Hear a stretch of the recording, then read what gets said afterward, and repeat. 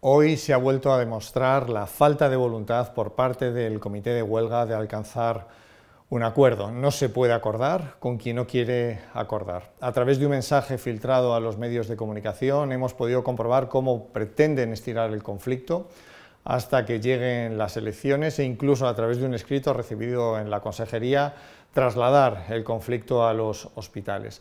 En el resto de España se han alcanzado acuerdos con la mitad de las propuestas que ha realizado la Comunidad de Madrid al Comité de Huelga, lo cual responde claramente a lo que ya decíamos desde un principio. Se trata de una huelga política que apenas secundan un 2% de los profesionales que son casi 40 médicos. Por lo tanto, la Comunidad de Madrid va a continuar con todas las medidas de su plan de mejora de atención primaria para dar la mejor asistencia a los madrileños.